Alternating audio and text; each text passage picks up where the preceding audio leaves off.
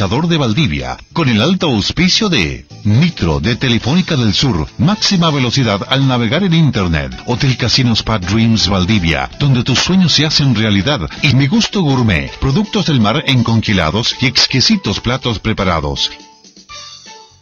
10 de la mañana con 15, estamos haciendo mañana de noticias en El Conquistador Valdivia. Nuestra frecuencia 95.7, estamos en vivo y en directo desde Hotel Dreams hoy, estamos en el piso 12 como siempre cada día viernes. Vamos a saludar al restaurante Puerto Canelos, que ahora también te espera los días eh, lunes, el mejor restaurante de pescados y mariscos del sur de Chile. Hay una variada carta de vinos y también innovadores cóctel de autor. Puerto Canelos Restaurant, que está en Avenida Alemania 636, con horario continuado de 12 horas a 1 de la madrugada y el domingo de 12 a 16 horas. El teléfono para hacer consultas y reservas 632 43 29 76 o también a través de puertocanelos.cl. Estamos también junto a KK Boutique, tienda de creaciones propias con hermosos diseños exclusivos, clásicos y modernos. KK Boutique es un taller de confecciones a pedido y a su medida para que usted conozca la sección de trajes de noche para el año nuevo, ¿por qué no? O para la Navidad y de novias quienes se van a casar antes del fin de año de primera selección para vestir elegante y distinguida. KK Boutique para que visites también la sección de muebles de diseño. Chacabuco 485 la dirección, Chacabuco 485, su teléfono 94 77 18 28. KK Boutique, que nos acompaña también en Mañana de Noticias del Conquistador. Le damos la bienvenida a la Seremi de Economía, Ana María Bravo, está en los estudios acá, en este estudio móvil del Conquistador acá en el Hotel Dreams. ¿Cómo está? Seremi, gracias por venir, por acompañarnos. Temas importantes que vamos a ver en los, próximos, minutos. Sí, hola Ricardo, saludar a todas las auditoras y auditores de Radio El Conquistador. Como siempre, muchas gracias por recibirnos y darnos un espacio para dar importante información a los auditores, auditoras y la comunidad en general. Bueno, sabemos que se lanzó la campaña de Chile para Chile. Esto impulsada por su ministerio, Seremi. Cuéntenos un poquito sobre esta campaña. Sí, mira, es una campaña que tiene por objetivo incentivar y hacer un llamado a los consumidores, especialmente en esta época de compras navideñas, de que compren productos chilenos, compren productos nacionales para así apoyar a nuestras emprendedoras, emprendedores y pequeños empresarios que elaboran distintos productos que pueden ser muy apropiados para compras navideñas. Sí. Así que mm, el llamado es apoyar a lo nuestro, apoyar a los chilenos y por supuesto también apoyar a nuestros emprendedores y empresarios de la región de los ríos. Ok, y sabemos que hay bastantes, ¿ah? hay bastantes eh, artesanos que durante esta época del año tienen sus ingresos también un poquito para, para poder subsistir podemos decirlo, durante el año, ¿ah? porque muchas veces las ventas que se hacen durante diciembre para ellos son muy importantes. Exactamente, y bueno, no solo hay artesanías, hay distintos tipos de, productos, por ejemplo, eh, diseño, eh, ropa, eh, también productos de alimenticios, gourmet. la lana que se ve bastante. La lana también, bueno, pero uno tiene que pensar que en el sur siempre se necesita calidez, así que también es bueno comprar, podría ser comprar también lana. Por ejemplo, un ejemplo de esto es el Emporio Mipe que se encuentra en el Paseo Libertad, que, mm. exactamente, que es un, un proyecto, un programa que está siendo impulsado por Cercotec y que apoya a emprendedores de todas las comunas de la región. Mm. Están presentes con una alta identidad de sus territorios y de la región y están ahí en el Paseo Libertad con las puertas abiertas para atender a todos y a todas quienes quieran comprar un lindo regalo, un souvenir también. Vienen muchos turistas, bueno, a partir de ya que se acerca el verano, mm. pero lo importante es que hay productos muy bonitos que, que pueden ser un muy buen regalo. Una buena alternativa. Seremi, eh, también eh, es importante entregar eh, recomendaciones para las compras navideñas. Es un tema no menor, muchas veces uno está ofuscado, trata de buscar los regalos por aquí, por allá, no, no, se, no, no se toma el tiempo de poder revisarlo, sobre todo cuando uno regala a los niños, a los más pequeños. Exactamente. Bueno, también estamos dentro de una campaña que estamos realizando hasta hasta el 24 de diciembre mismo.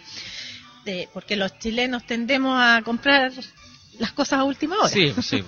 No, igual yo creo que no solamente para estas fiestas de fin de año, porque muchas veces uno hay algún niño de, cumpleaños durante el año y es muy importante revisar constantemente estas recomendaciones. Exacto, porque es importante, por ejemplo, porque de acuerdo a la normativa vigente, los productos deben venir bien rotulados y en español mm. para saber su origen, a partir de qué edad, en el caso de los niños, pueden utilizar juguetes si tienen piezas pequeñas.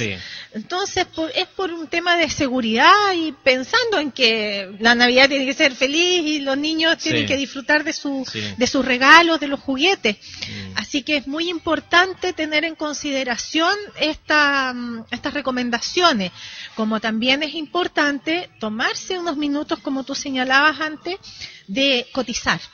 Mm. Porque muchas veces un mismo regalo, un mismo producto en distintas tiendas tiene distintos precios. Sí, hasta un 100% en algunos. ¿ah? Exactamente. No, sí, es, impresionante, increíble, mm, mm. las diferencias de precio que pueden existir. Entonces, por un tema también de conveniencia, que tenemos que cuidar nuestro presupuesto familiar, eh, es importante que se den un tiempecito para, para cotizar y no solo para cotizar los productos, porque muchas veces las personas, los consumidores, eh, se endeudan para comprar los regalos. Y ahí también es importante cotizar los intereses, las tasas de interés de las casas comerciales, porque a veces atraen con una rebaja importante del producto. O dos por uno. Dos por uno, qué sé yo, pero después finalmente, al comprarlo con crédito, uno termina pagando cinco es el producto. Más. Exactamente. Así que también hay que tener cuidado en ese sentido y también les he dicho yo ya en forma reiterativa, bueno, estamos desplegándonos incluso a comunas por esta campaña y diciéndole un mensaje bien claro a todas y a todos, que no olvidemos el sentido de la Navidad. Mm. El regalo a, veces no es lo más importante. Entonces, no perdamos ese sentido porque muchas veces las personas por quedar agradadas incurren en demasiados gastos y se sobreendeudan. Y no olvidemos que, como también lo digo siempre y lo señala el ministro de Economía, don Luis Felipe Céspedes, que marzo, eh, no dicen se viene marzo, se viene marzo, como en febrero ya dicen se viene marzo, pero resulta que marzo ha existido siempre. Entonces uno tiene que tener internalizado marzo, porque marzo sí que tiene compromisos ineludibles que se deben cumplir. En cambio, a veces eh, no es necesario gastar tanto en un regalo. En un regalo, sí, pues se nos viene el tema del colegio, el tema de la patente, etcétera, etcétera. Lo otro importante, es, Seremi, es que eh, muchas veces uno hace las compras y ni siquiera pesca la boleta, o la deja ahí nomás, po. pero no sabe la importancia de exigir la boleta al momento de hacer una compra. Exactamente.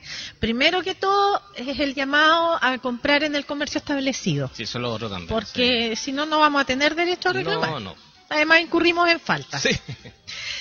Y después exigir la boleta y guardar la boleta. Sí, sí porque también esa es la forma, esa es nuestra garantía. Mm. Especialmente en caso de que el producto que compremos eh, presente algún tipo de defecto, mm. algún tipo de, de, problema, para poder exigir nuestros derechos como consumidor, que tenemos tres meses para solicitar tres alternativas, que son de derechos del consumidor no lo que ofrezca la tienda, que es el derecho a la devolución del dinero o al cambio del producto o a la reparación de este. Pero es el derecho, uno tiene el derecho a elegir, no el comercio, no la tienda. Entonces, porque muchas veces uno llega con la boleta, con el producto, este producto está defectuoso, ya, lo vamos a reparar eh, no, pero yo quiero que me devuelvan la plata. No, esa es la posibilidad que le damos aquí. No, entonces, por eso es importante también darle a conocer a, la ciudadanía en general, a la comunidad en general, que tienen derechos porque sabiendo sus derechos pueden exigirlos en propiedad. Ok. No sé si agregar algo más sobre esta campaña también y sobre este fin de año. Pensamos ya que estamos cerrando este año 2015 eh, como Seremía de Economía también eh, un balance positivo, hay desafíos todavía para el próximo año. Eh, cuéntanos un poquito sobre eso. Exactamente, mira, eh, dentro del contexto ya de la, de la economía regional podemos decir que nos estamos manejando con buenas cifras. Mm. Hasta el momento eh, somos la cuarta región con menos tasas de desocupación a nivel país. También, eh, de acuerdo a lo que nos reportó nuestro último en hacer, seguimos creciendo. A lo mejor un poquito más lento, que pueden haber distintos factores. No olvidemos que nos enfrentamos el verano pasado a una sequía. que se retrasó el efecto un poco. Mm. Nosotros pensábamos que eso se iba a manifestar antes, ya, pero ahora se, se reflejó en el último INACER. Entonces, debemos tener en consideración esos factores, pero por ello no nos sentimos conformistas y seguimos trabajando intensamente para darle un impulso a la economía regional, un mayor dinamismo.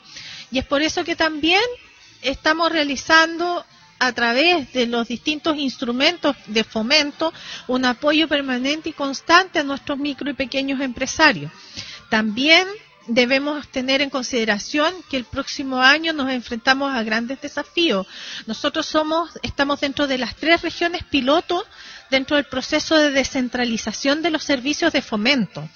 Junto con Biobío, Antofagasta y Los Ríos, estas regiones van a tomar sus decisiones en la región. ¿Cuáles van a ser nuestras vocaciones productivas? Los instrumentos, a qué sectores los vamos a enfocar o vamos a dar un énfasis. No significa que vamos a dejar a los otros fuera, por ningún concepto. Pero tenemos que hacer apuestas y lo importante es que van a venir desde la región. Ok. Bueno, queremos agradecer su visita, Seremi. Eh, Ana María Bravo, Seremi de Economía, que nos acompañó acá en Radio Conquistador. Que tenga felices fiestas, Navidad, Año Nuevo, junto a su familia, de parte de quienes hacemos el Conquistador acá en Valdivia. Muchas gracias, Ricardo. También obviamente desearles lo mismo, mucho éxito también en la radio. Es una radio que apoya mucho a, los emprendedores, a los empresarios. Mm. Tenemos un programa aquí con Cercotec. Emprende con Cercotec. Emprende con Cercotec. Así que nada más que desearles mucho éxito, igual a ustedes, sus familias, que lo pasen muy bien esta Navidad. No olviden estos humildes consejos de esta Ceremi, que los tenemos que aplicar para todo, inclusive quien les habla. Hay que ser consecuentes. Muchas gracias, Seremi. ¿eh? Muchas gracias. Seremi de Economía, Ana María Bravo, en Mañana de Noticias del Conquistador. Pausa y regresamos.